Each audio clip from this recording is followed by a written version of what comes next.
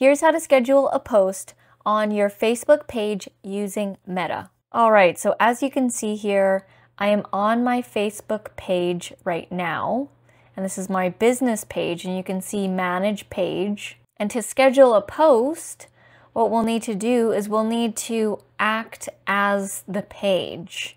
So you can see here at the bottom, it says switch into Essetino Media's page to start managing it. So we need to switch to the page so we can start managing it so that we can schedule a post. So I'm going to click switch now.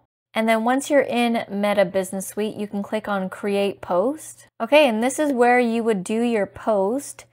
First thing is this part right here, post to. We have our Instagram connected as well. So this post that I'm scheduling, I just want it to go out on our Facebook page. So I'll just uncheck that one and you would obviously just check the ones that you want this to go out on. Then you want to add your photo or video. Okay, I just uploaded a photo of mine from a recent photo shoot. You can add your text here. And then here, right under the text, is the scheduling options. So this is where you can do the scheduling. So I want to turn this on. And then now we set the date and time.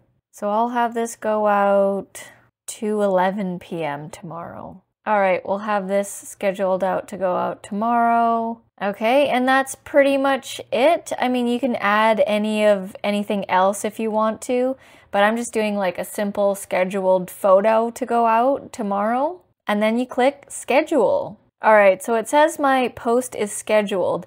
It's now asking me if I want to boost it up, which is a paid boost. Facebook wants you to pay to play. But I'm not interested in doing that. I wouldn't do that for this post. So I'm just going to say maybe later. And it says you scheduled a post through Meta Business Suite. And there we go right here.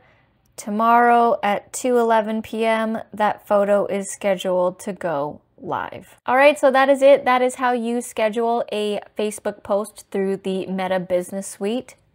If this video was helpful, please let me know by giving it a thumbs up. That would be greatly appreciated. And if you want to know how we get leads and clients through our YouTube channel by creating tutorials like this, head down to the description below. We have a YouTube authority checklist completely free that you can download. So check that out down below.